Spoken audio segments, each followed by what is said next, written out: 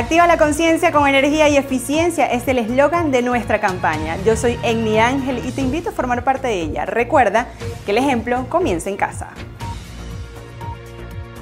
Estamos seguros que todos juntos, poder nacional, poder regional, poder local, poder popular y todos juntos venceremos.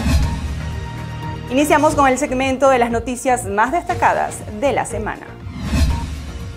Estamos entregando también en, en las próximas semanas, gobernador, 40 motores y bombas para que junto a la gobernación y las alcaldías rehabiliten 40 pozos en el estado Anzoátegui. El general en jefe informó sobre la reparación de 72 autobuses Yutong, la rehabilitación de 17 kilómetros de la autopista de Oriente y la entrega de 1.500 nuevos cilindros de gas.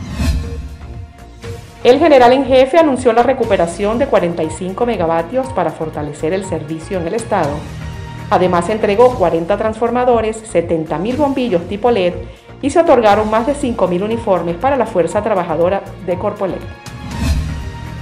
El vicepresidente sectorial de Obras Públicas y Servicios visitó el estado Monagas, donde informó sobre la recuperación de 100 pozos profundos para el primer semestre del 2022, a fin de garantizar el servicio de agua en la entidad.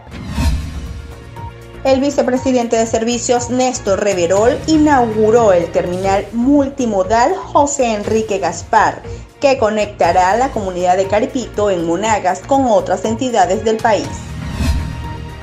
Más de 4.100 piezas de uniformes y equipos de seguridad laboral fueron suministrados a la fuerza trabajadora de Corpolec y también fueron concedidos 30 transformadores de diferentes potencias para las comunidades organizadas de Monagas.